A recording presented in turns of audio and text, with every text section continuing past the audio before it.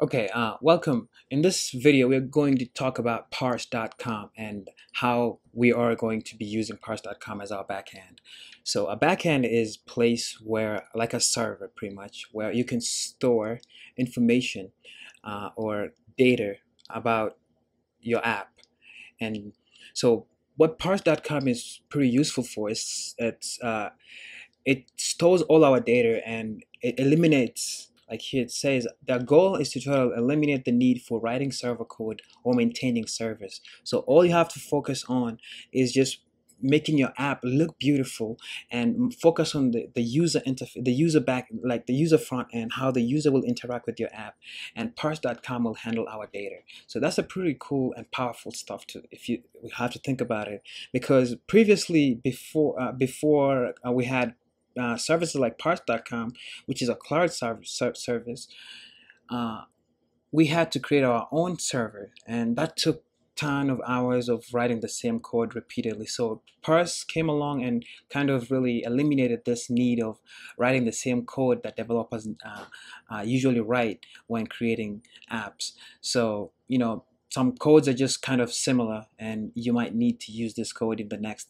project. So there's no need for writing the same code all the time. So parse.com is a really useful part uh, as far as helping developers is concerned.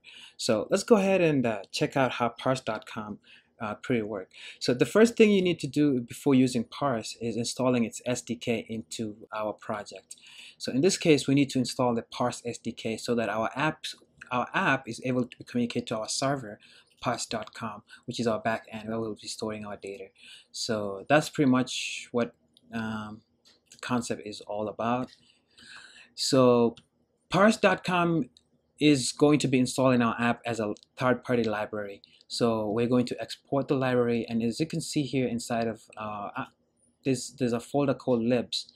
This is where you will we will be putting our uh, parse uh, jar files um, or libraries.